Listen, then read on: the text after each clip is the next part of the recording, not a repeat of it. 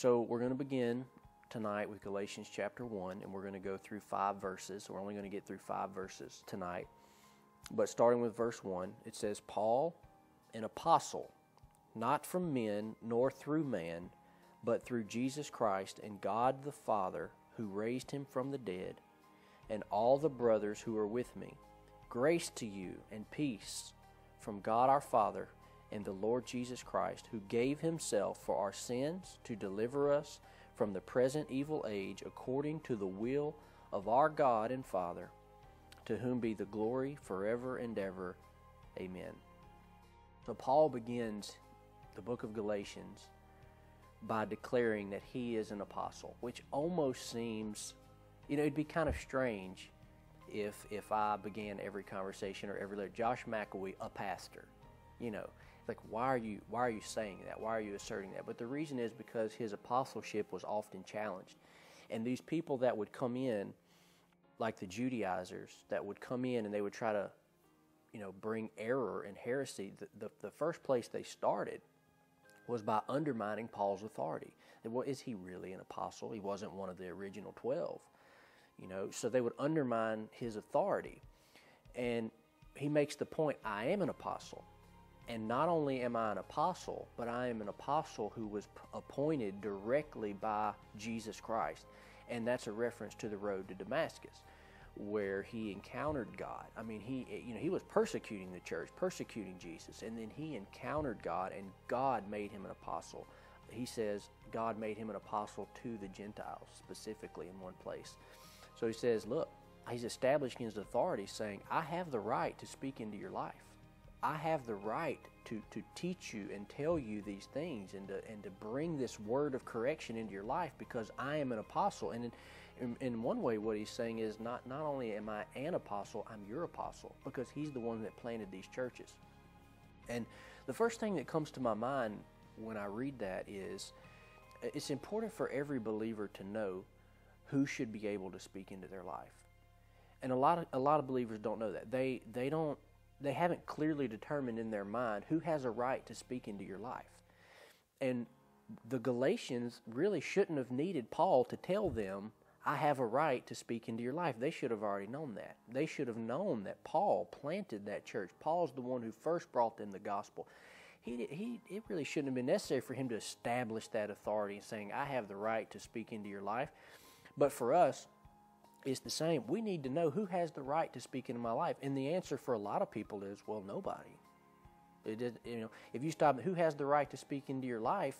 A lot of people they don't have a right. No, nobody has a right to speak into their life. They just they don't have anyone that can bring correction and bring instruction into their life. And and um, sometimes if if they do have that, that it's very difficult for the person to to bring that.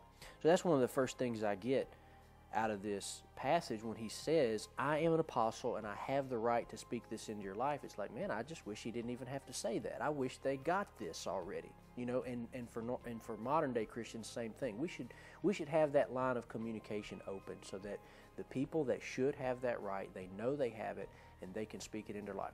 For me, uh, you know, we have a board at our church, uh, an external board Pastor John Welch, Brother Greg Fritz, Pastor Sam Carr, that they know that they have that line of communication into my life. It's not questioned. They don't every time they need to tell me something, they don't have to start out by saying, "Now, Josh, you know I'm on your board and and I have a lot of wisdom and I have a lot of spirit. I need you to listen to what I have to say." That's not even necessary. They just come out and say it because they know they have that that right. So he says, I am an apostle, not from men nor through man, but through Jesus Christ and God the Father and all the brothers who are with me. So he says, I, Paul, an apostle, am writing this letter, and all the brothers who are with me. Now, this is a small point, but it's an interesting point. At almost, in almost every letter that Paul writes, he identifies a co author of his letters, which almost never get credit for writing the letters. It's almost, you know, it's always Paul, Paul, Paul, Paul. But in the majority of his letters, all but except one or two, he mentions a co author. Now, it's very probable that he was saying, We are greeting you, because he says, you know, Paul and all the brothers who are with me. He's basically saying, We greet you, we send you our love, we send you our peace. But if we compare it to 1 Corinthians chapter 1 verse 1, this is how Paul starts his introduction.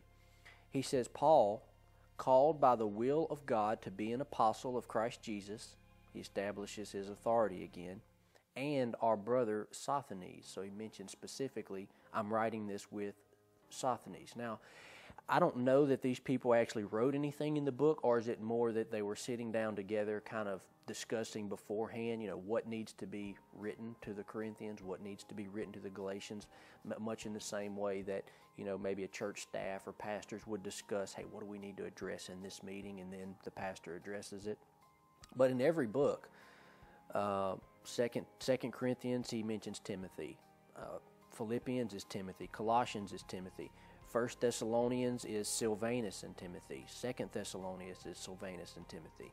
Philemon is Timothy. So Timothy is mentioned as a co-author in many of these, and it's no different in Galatians. He says, "I, Paul, and the brothers who are with me, write this letter to you." The reason I think that's important is that even Paul the apostle was not a lone ranger.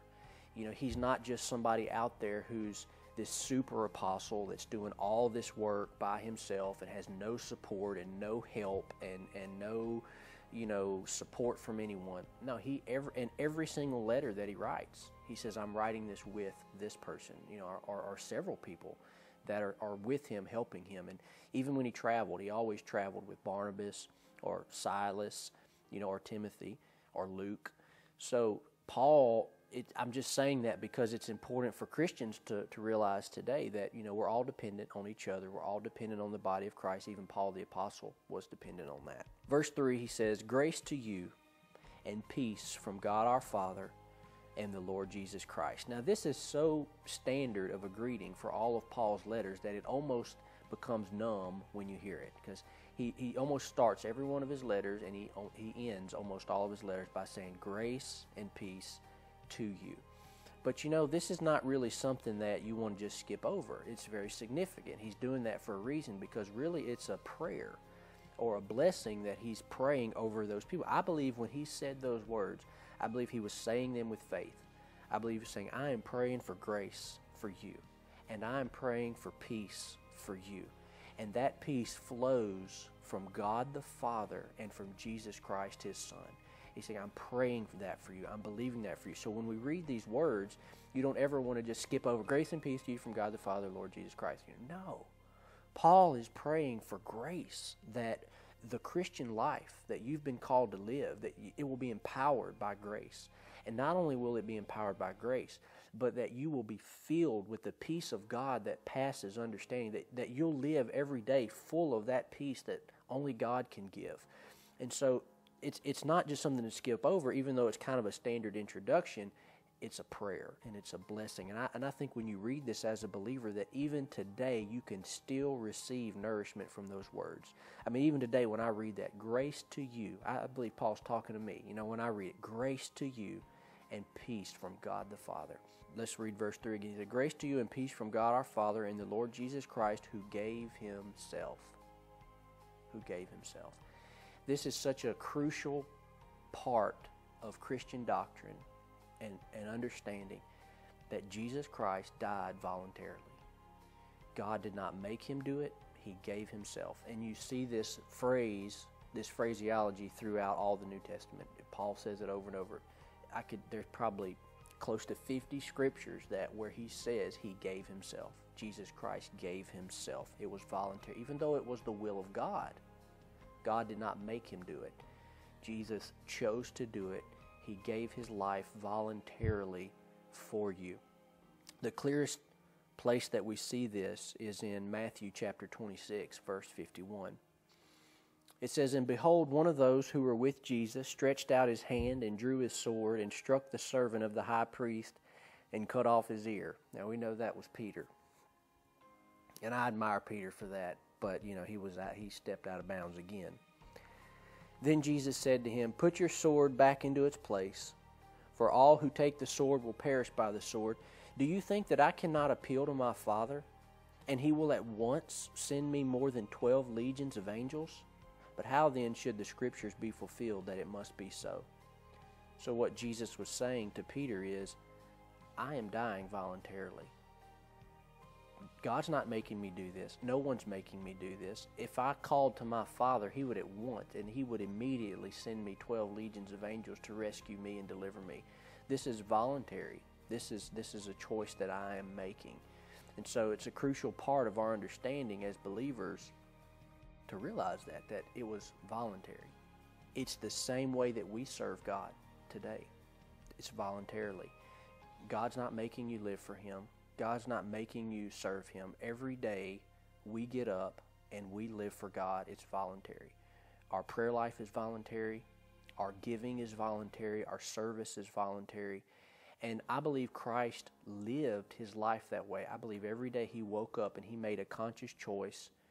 I'm a servant of God. I'm living for him. It was a voluntary choice he made every day. And so that pattern carried all the way to the cross, where when it came time for him to make that most difficult decision, he was so used to submitting his will under the will of God that I won't say it was an easy choice because we see that it was difficult, but he was able to make that choice. And so for us to learn from that is Christ is our example. And as he voluntarily laid his life down for us, we voluntarily lay our life down for the gospel every day. So it says, Jesus Christ, who gave himself, then he tells us why, for our sins. This is such a basic understanding that we, we, we hear in so much that we lose the value in it sometimes. But understand Christ died for your sins. It's because of your sin that Christ had to die. It's for your sins and my sins that Christ had to pay the ultimate price that he paid and he did it willingly. We see this also in 1 Timothy 1:15 where Paul writes he says the saying is trustworthy and deserving of full acceptance that Christ Jesus came into the world to save sinners of whom I am the foremost Paul says. So Paul is restating there, and it's restated multiple times in the New Testament. The reason why Christ came was to die for our sins. And he says, and he, I just love how he adds that part. He says, He came in the world to save sinners, of whom I am the foremost. Another translation says, Of whom I am the chief of all of all sinners. So he had that full understanding that he was a sinner.